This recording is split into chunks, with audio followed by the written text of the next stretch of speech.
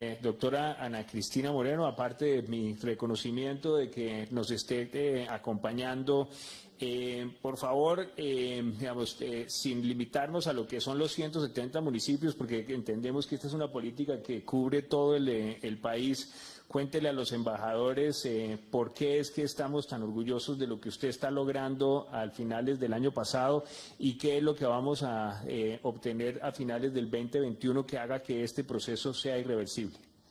Gracias, doctor Emilio. Un saludo para todas las personas que están conectadas, para mis compañeros panelistas.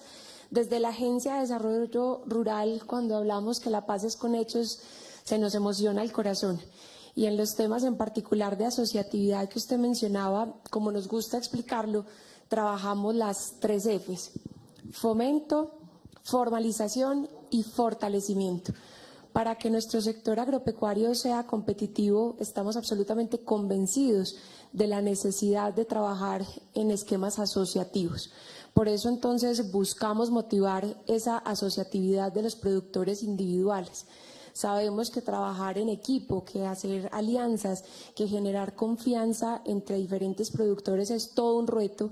En nuestro país seguramente sí que más, pero en esa línea venimos avanzando. Entonces, diseñamos desde la agencia nuestra propia metodología, la metodología integral de asociatividad para trabajar estas tres Fs Consultamos otras metodologías como la de FAO, que nos parece maravillosa y nos dio elementos para nuestra construcción propia y en esa línea eh, venimos avanzando. El año pasado, con las características de la pandemia, tuvimos retos, por ejemplo, de hacer talleres, encuentros territoriales de asociatividad en función de fomento de manera virtual y allí pudieron participar casi 1.500 productores rurales de nuestro país interesados en entender para qué asociarse, cómo asociarse, cuáles son las ventajas de asociarse. Entonces, sembrar esa semilla buscar estas personas para que participen en estos encuentros, pues nos permite ir generando el tejido social para avanzar entonces en formalización y en fortalecimiento. Pero también el año pasado tuvimos una primera experiencia y fue hacer un diplomado un diplomado con Fundapanaca, con FAO como nuestros aliados en sus metodologías, donde pudimos tener más de 400 becarios de todo nuestro país, de zonas rurales, con unos perfiles de liderazgo muy interesantes.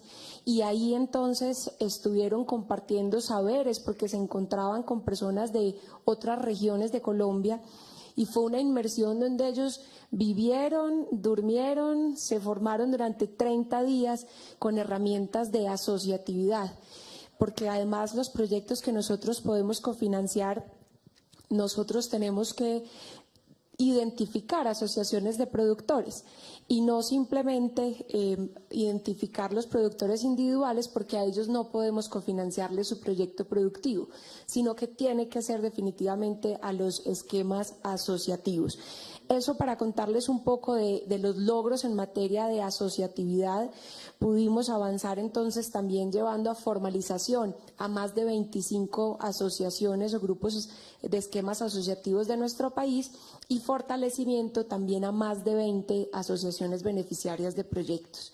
Y en materia de asistencia técnica, se formularon los planes departamentales de extensión agropecuaria esto permitió entonces que podamos llegar con ese servicio público de extensión agropecuaria que, para decirlo de manera sencilla, es la asistencia técnica personalizada, ahí sí de manera individual a cada productor, donde no se llega con una receta igual para cada uno de ellos, sino de acuerdo al proyecto productivo en particular de ese productor en esa zona, se le hace su diagnóstico y se le hace su plan de mejoramiento y se le acompaña en iniciar esa implementación con buenas prácticas agropecuarias, entendiendo cómo debe fertilizar, entendiendo cómo debe manejar los químicos, por ejemplo, eh, a la hora de la fertilización. Así que esa asistencia técnica esa formulación de planes departamentales con recursos del año pasado nos permitió llegarle a más de 6.000 y es un reto gigante que tenemos también para terminar en este periodo de gobierno del presidente Iván Duque. Muchísimas gracias, eh, Presidenta. Yo eh, le, pediría, digamos, en términos eh, concretos, en dos minutos. ¿cuáles son los resultados que hemos obtenido en la implementación de, de, estas, eh, de estas políticas? Eh, ¿Cuántos departamentos no tenían y hoy tienen? ¿Cuántas eh, hectáreas no teníamos con riegos y hoy están con, con riegos? ¿Cuántas asociaciones hemos logrado capacitar? ¿Cuántas de cómo medir el incremento en productividad que le debemos a usted? Listo, entonces compartamos ahí las cifras exactas. Hemos podido cofinanciar 109 proyectos integrales de desarrollo agropecuario y rural con una inversión de más de 156 mil millones de pesos, beneficiando a 12.508 productores. De ellos, 61 de los 109 proyectos han sido en municipios PEDET y allí entonces de municipios PEDET hemos podido beneficiar a más de 6 mil productores. En materia de asistencia técnica, nosotros tenemos la formulación de los planes departamentales de extensión agropecuaria. Ya tenemos 29 de los 32 departamentos con esta herramienta. Ahí hemos podido llegar a 16 departamentos con municipios PEDET, beneficiando más de 28 mil productores. Esta ya es una cifra de gobierno del periodo del presidente Duque, no solamente del año pasado. Y entre ellos, entonces, en municipios PEDET hemos podido también llegar a 5.000 eh, mujeres rurales. Y en adecuación de tierras en los distritos de riego, tenemos en ejecución de estudios de preinversión para 32 proyectos, tres distritos eh, de riego que son los grandes distritos estratégicos de nuestro país, muy nombrados hace muchísimos años, el distrito de Ranchería, Triángulo del Tolima y Tesalia, Paicol. Esos grandes distritos ya contratamos la actualización de los estudios y diseños que nos va a permitir seguir esa hoja de ruta que definimos para poderlos sacar adelante y que esa expectativa de riego de suministro de agua sea una realidad para estas más de 17 mil hectáreas. Muchísimas gracias, eh, Presidenta.